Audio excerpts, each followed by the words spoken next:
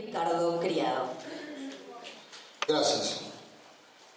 La realidad es que la salud de nuestro, partido no nos, no nos, no nos deja conformes, fundamentalmente no, no tiene conformes a la mayoría de la población.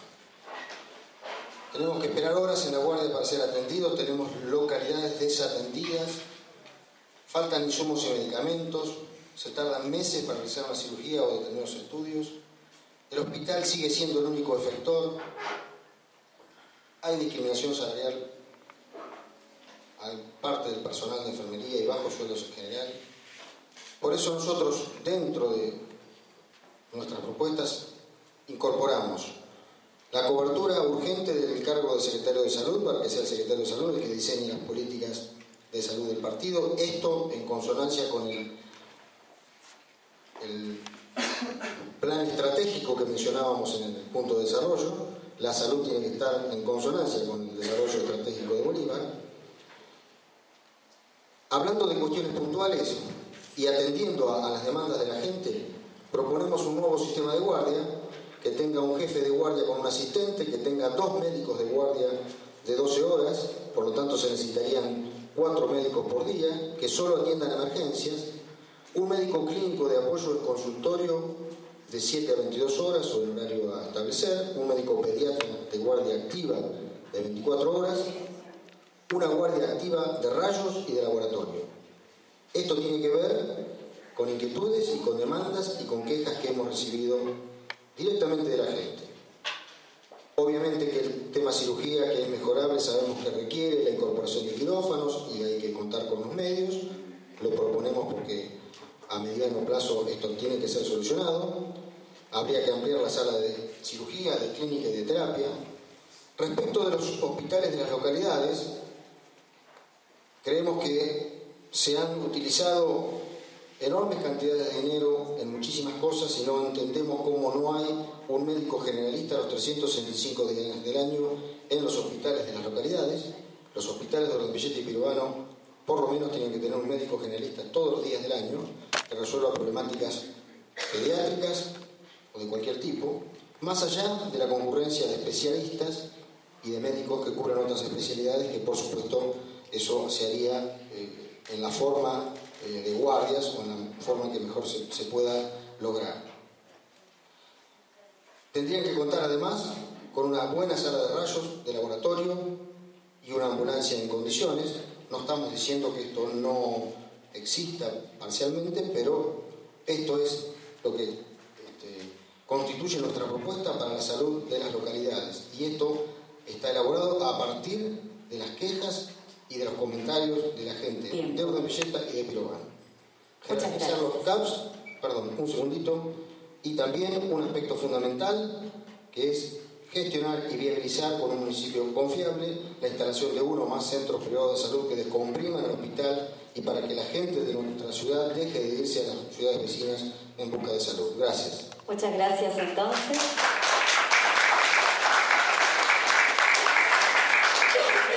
el turno del doctor Eduardo Balibuca para hablar acerca de este bloque libre de los temas que considera pertinentes.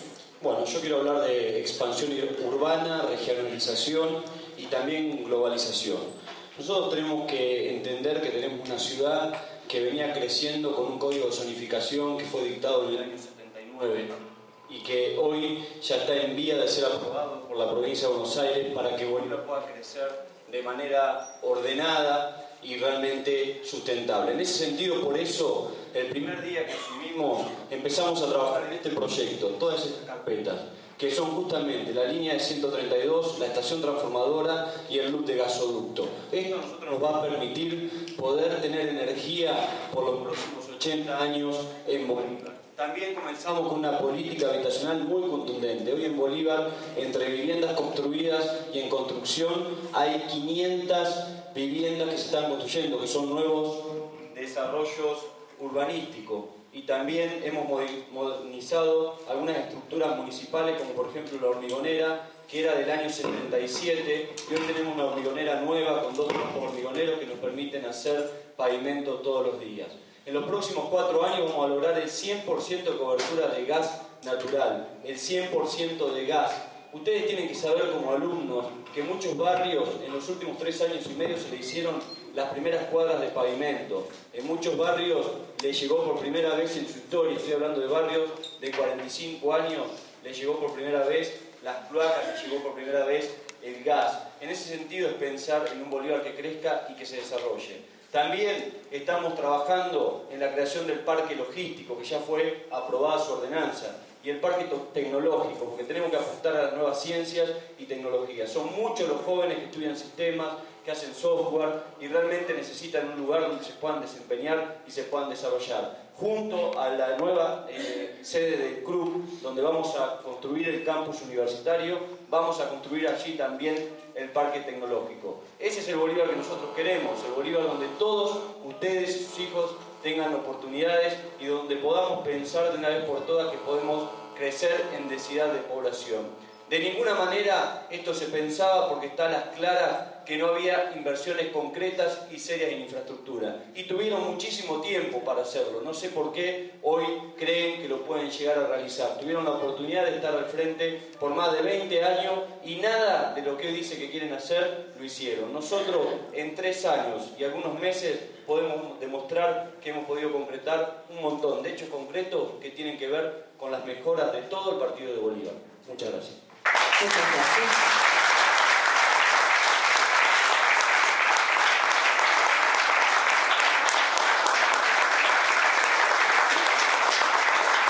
Continuamos ahora con la palabra al señor Rodolfo Romero del Frente Renovador en este bloque libre.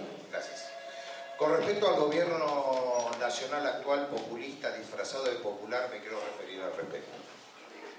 El populismo de lo primero que se encarga es desmantelar las instituciones y reescribir constituciones para ponderarlas como acomodar a los antojos de líderes corruptos existentes en nuestro país. El populismo es el atajo por el cual jugamos con las pasiones y las ilusiones de la gente. El populismo ama tanto a los pobres que los multiplica. Lo que buscamos es multiplicar, lo que buscan es multiplicar miseria para seguir recibiendo a través, eh, recibiendo votos a través de un objeto material o dinero en efectivo.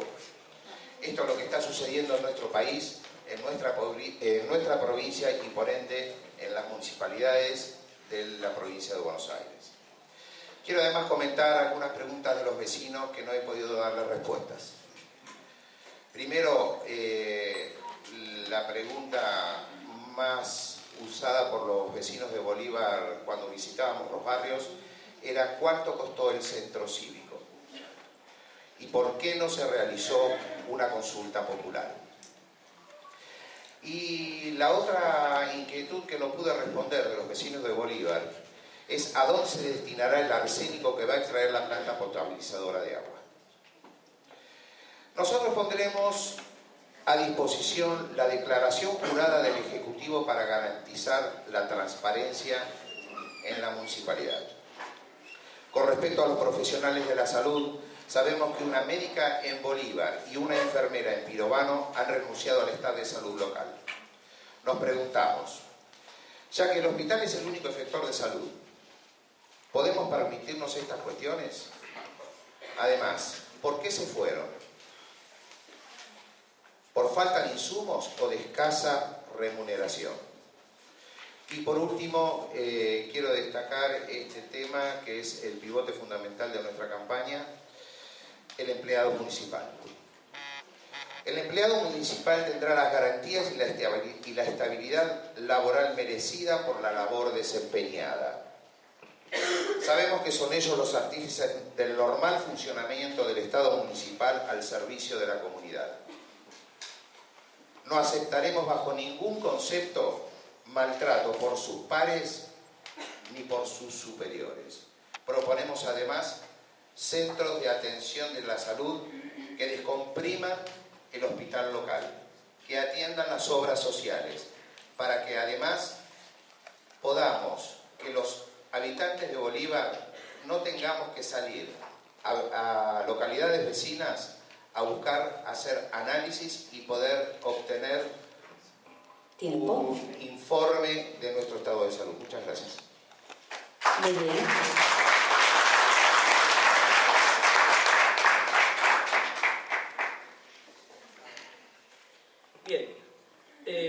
Nosotros tenemos varias propuestas, después seguramente les vamos a, los que les interesen, este, darles un, folleto con, todas nuestras propuestas y con este, las redes sociales y la, página donde las pueden encontrar un poco más desarrolladas.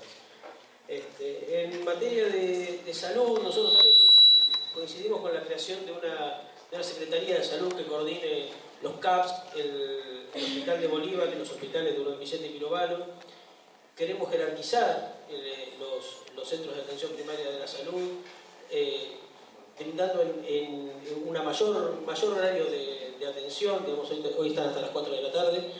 Creemos que hay que, en los CAPS tiene que haber eh, médicos generalistas y crear un, un equipo de profesionales especialistas, pediatras, traumatólogos, que asistan en caso de mayor complejidad eh, digamos, eh, a cada uno de los centros este, de atención primaria de la salud.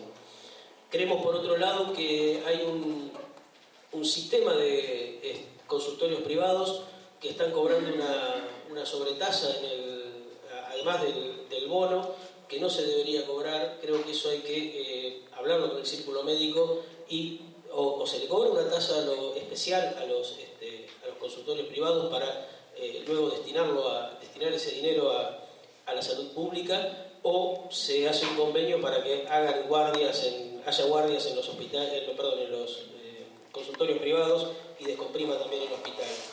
creemos que hay que construir un laboratorio de producción de medicamentos para este, proveer de, medicamentos a los, a los, centros de atención primaria. Hoy está el plan Medicar, pero no sabemos si después del 10 de diciembre el plan Medicar va a seguir o no va a seguir. Por lo tanto, creemos que la comunidad de Bolívar, la ciudad de Bolívar, podría estar en condiciones de, tener un, laboratorio de producción de medicamentos. Creemos en materia de tránsito que hay que construir bicisendas en las calles eh, que llegan hasta las, hasta las escuelas eh, tenemos la, suerte o la posibilidad de que eh, las escuelas están ubicadas en, las mismas calles, entonces, bueno, no sería, no sería dificultoso.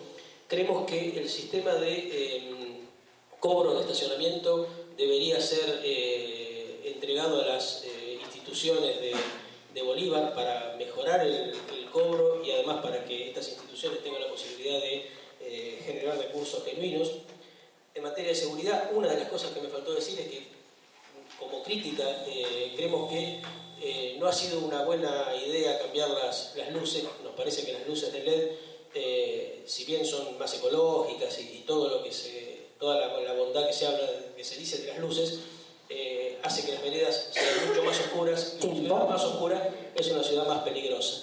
Y una sola cosa más, creemos que hay que crear el Consejo Municipal de la Juventud, eh, donde eh, participen jóvenes de entre 18 y 25 años que hoy no pueden ser concejales hasta tanto se eh, modifique la constitución de la provincia de Buenos Aires.